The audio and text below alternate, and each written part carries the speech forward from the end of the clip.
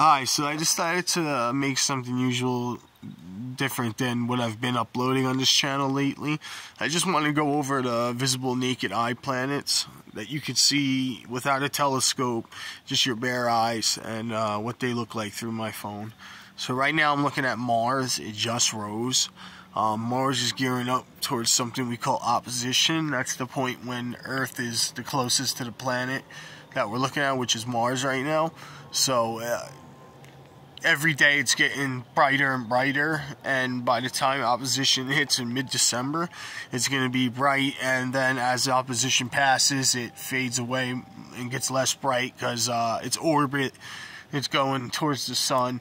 But um yeah right now i mean if you have like a little basic walmart telescope i believe they sell like a 70 millimeter refractor uh, you might be able to see some small detail but you're gonna have to have perfect conditions, like clean, clear skies, all of that.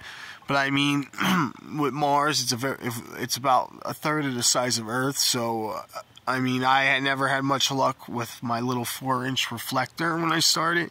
I wasn't even able to pull detail from Mars until I had a uh, eight-inch Dobsonian.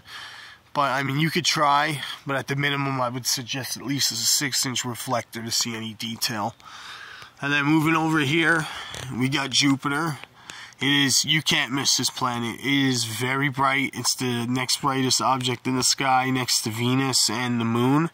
Um, even with a small Walmart telescope, you'd be able to see its four biggest moons. Um, if you want to see any detail on the planet Jupiter, I was just going a little higher. If you wanted to see like atmospheric effects on the planet, you know, the cloud, uh, cloud belts, the great red spot any of that. I, you know, you probably could see some of that stuff with a basic telescope if the skies were perfect that night. But I mean, if you want to see anything like cool, like the moon shadow effects, I was just a six-inch Dobsonian. And then right here is the moon. I mean, you know, you could get a $50 telescope. You don't even need a telescope to you know, have some good observing of the moon. You could get a 30 40 dollar pair of headphone, you know, binoculars and see craters and all of that stuff. Um, and over here, uh, there's no way I'd be able to see my phone. Um, Neptune and Uranus orbits right now. There, you could see them with a, uh, an eight-inch Dobsonian telescope, but they're right now the planets are both in between uh, Uranus and mean um, between Mars and Jupiter. Yeah, so there's somewhere in here, but there's no way you're going to be able to see them with naked eye or telescope. I mean, they say it's theori theoretically possible to see Uranus with the naked eye, but I've tried and never been able to see it. I've always had to use a telescope. And even with a telescope, just just faint two blue dots. And then right over there, above the tree, could barely see it. That's Saturn. Um, I've seen the rings on Saturn with a four-inch reflector, which is pretty much you know standard what they would sell at Walmart or one of those um, big box stores. But I mean, it's night and day when you look at Saturn through a 8-inch Dobsonian and you can see so much effects on the planet and um, you know like atmospheric effects a couple of its moons.